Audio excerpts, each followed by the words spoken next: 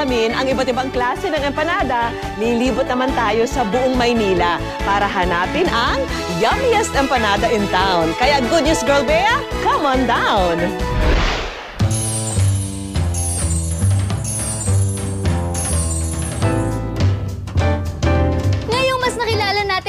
Paborito nating merienda, oras na para hanapin ang best empanadas in the metro. It's chow time! Ayon sa isang online urban and lifestyle guide, ang masasarap na empanada, hindi lang siksik sa mga rekado at lasa, very affordable din daw dapat ang mga ito sa bulsa. Kung may iba't ibang version ang bawat region, dito naman sa isang restaurant sa San Juan, ang kanilang trademark taste, may oriental o Chinese twist sa kanilang Spanish chicken empanada. Baked to perfection ang best-selling meriendang ito. Kasi bukod sa pagiging siksik sa chicken, potatoes, mushroom, carrots at cream, pinaulanan pa ng sesame seeds ang bawat piraso. Sa grocery na ito na nagbebenta ng sari-saring Chinese delicacies, mabibili ang chicken empanada na ito sa halagang 35 pesos. Tried and tested daw ang recipe na ito dahil 1970s pa raw to unang iniluto. It's because of the chicken thigh. Siya yung naging specialty namin. After that, after a couple of months, na we, we try we try a different shape which is the empanada. Pahaba siya. Basically, it's the same ingredients naman. Actually, it reminds me of ano, chicken ala king. Tsaka medyo on the sweet side siya. And uh, I like it. Pasado, pasado yung empanada. Kamustahin naman natin ang say ng taong bayan. Crispy, savory at extra creamy. Ito raw ang lasang babalik-balikan mo sa pastel de pollo sa isang restaurant sa Green Hills. Chicken empanada o masikat sa tawag na pastel de pollo daw ang number one sa kanila. Certified fresh daw ang kanilang produkto dahil made to order ang mga ito. Kailangan maghintay ng 7 minutes bago ito matikman. Sa halagang 85 pesos per piece, guaranteed daw tong love at first bite. Must try din daw ang ibang empanada flavors nila tulad ng prawn at 3 cheese with mushroom na mabibili naman sa halagang 110 pesos. Ayon sa may-ari, 12 years na raw niyang pinerfect ang kanyang chicken empanada recipe. It's it's really crispy on the outside and creamy inside. And we don't use extenders such as carrots, potatoes, or green peas. Just chunks of chicken, pure chicken and uh, cream. Kumusta naman kaya ang verdict ni Sir Ivan? This one naman is a deep fried empanada, flour-based. Sarap ng crust. Uh, nagme-melt siya sa mouth mo. Um, just like the two other empanadas, savory din. Uh, Ito naman ang score ng ating mga hurado. And for a heavenly experience, must try daw itong oven-baked chicken empanada sa isang restaurant sa Pasig City. Ang kanilang chicken empanada nakikipagsabayan daw sa kasikatan ng kanilang mga dessert. Kasi naman, dalawat kalahating oras daw itong binibake para sure na manuot ang chicken and milk flavor sa empanada. Kaya naman garantisado daw itong malinamnam at melt in your mouth. A lot of customers uh, tell me that the crust is extraordinary.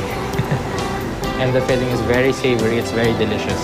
Kwento ng owner na si Carlo. 8 years old pa lang daw siya nang una tong niluto ng kanyang nanay. Na ngayon matitikman na ng taong bayan sa halagang 95 pesos. Ang laban ng kanilang empanada. Sir Ivan, pasado ba? the crust is baked, no? So, flour-based siya and uh, it's similar to the ones that are uh, uh, made in Spain, no? Sa, kasi masanay tayo dito sa Philippines, alam natin yung empanada made out of rice, yung mga deep fried. But ito, ito ano, baked and ano, flour-based siya. So, it's good. Really good. Eh sa panlasa ng masa, pasado rin kaya? Ang resulta ng ginawang panghusga ng taong bayan. Nakakuha ng parehong perfect score ang Chinese-inspired chicken empanada at ang deep-fried chicken empanada. Hindi lang namin hinanap ang best empanadas in the metro. Ituturo rin namin sa inyo kung paano gumawa ng yummy merienda na ito. Sa tulong ni Chef Chris ng Most Institute of Culinary, gagawa tayo ng homemade empanada. Ihanda ang all-purpose flour, salt, vinegar, butter, egg at ice water. Unang isama ang pinalamig na butter sa flour. Timplahan ng asin at haluin mabuti gamit ang kamay. Kailangan maging texture niya is parang ah, parang sa breadcrumbs. Ibuhos ang suka sa itlog at dagdagan ng tubig. Batihing maigi bago isama sa flour mixture. Ang suka ay kailangan para mag-stabilize yung dough natin para hindi siya mag-shrink once na niroll natin siya. Para hindi manikit ang dough sa mesa, budburan ito ng flour bago magmasa. After 2 minutes, pwede na itong panipisin gamit ang rolling pin. Kailangan daw itong palamigin sa ref ng isang oras para hindi matunaw ang butter. Okay, para sa ating unang empanada, gagawin natin yung filling para sa tuna empanada.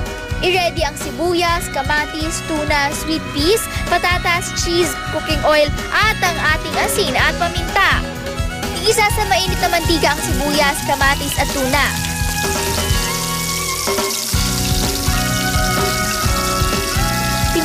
Paminta. Yung paprika, lagyan natin ng... Yung paprika, magbibigay ng parang earthy flavor sa ating tuna empanada. Ang source ng paprika ay galing sa red bell pepper na pinatuyo at saka ginawang powder. Isinod na idagdag ang patatas, green peas at grated cheese. Yan. At ready na ang ating palaman para sa ating tuna empanada. Gamit ang mangkok, gumawa ng mga hugis bilog sa dough.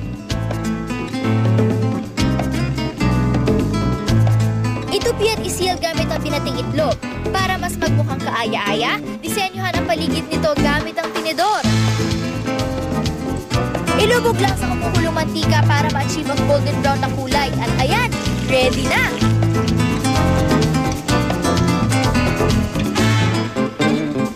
Ang ating tuna empanada, mapagsasaluhan ng tatlo sa halagang 50 pesos. Para naman sa mga health conscious, ito ang recipe ng vegetarian empanada. Para sa ating filling, ihanda lang ang bawang, sibuyas, kamatis, green chili, corn kernels, red bell pepper, asin at paminta, at kangkong.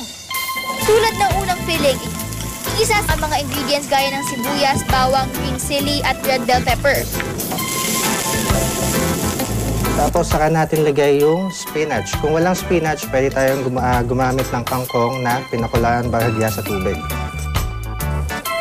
Ihalo naman ang corn at dagdagan ng curry powder para sa unique flavor at aroma. Ang curry powder, depende kung anong region, tsaka kung ano ang halo ng mga spices niya. Yan, at handa na yung ating palaman para sa ating vegetable empanada. Ayan, pwede na itong balutan sa dough na pwede rin budbudan ng paminta at curry powder. Siguraduhin huwag itong i-overfry ha. Bantayang mabuti para hindi masunog. Ang Healthy Delight na vegetarian empanada, pwedeng matikman ng apat na tao sa halagang 60 pesos. Masarap siya. Mahilig kasi ako sa vegetables. So, and may fish. Hindi ako mahilig sa vegetables actually, pero the when it's cooked like this, uh, okay. It's ano, yummy. Ilan lamang yan sa mga best empanadas na dapat niyong subukan. Mga original recipes na panalo sa presyo at siguradong magugustuhan niyo.